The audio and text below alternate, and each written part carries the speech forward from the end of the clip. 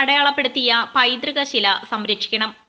Road വികസനത്തിന്റെ ഭാഗമായി പൊതുമരാമത്ത് വകുപ്പ് എടുത്തുമാറ്റിയ മാളയെ അടയാളപ്പെടുത്തിയ നൂറു വർഷത്തിലധികം പഴക്കമുള്ള ശില സംരക്ഷിക്കണമെന്ന ആവശ്യം ശക്തമാകുന്നു. മാള ജംഗ്ഷനിൽ സ്ഥാപിച്ചിരുന്ന മാള സീറോ എന്ന് രേഖപ്പെടുത്തിയ അഞ്ചടി ഉയരവും ഒന്നര അടി വീതിയും ഒരടി കനവുമുള്ള രണ്ട് കരിങ്കൽ ഫലകമാണ് രണ്ട് വർഷം മുമ്പ് ടൗൺ റോഡ് വികസനത്തിന്റെ ഭാഗമായി ഇളക്കി മാറ്റിയത്. അതിൽ ഒന്ന് ടൗണിലെ കാന നിർമ്മാണത്തിനായി എടുത്തുമാറ്റിയ മണ്ണിനൊപ്പം മാളക്കടവിൽ നിക്ഷേപിച്ചിരുന്നെങ്കിലും മണ്ണ് ലേലം ചെയ്ത് എടുത്തവർ കരിങ്കല്ലിന്റെ ഫലകം അവിടെ തന്നെ ഉപേക്ഷിക്കുകയായിരുന്നു. മറ്റൊന്ന് റോഡരികിൽ അനാഥമായി കിടക്കുന്നു.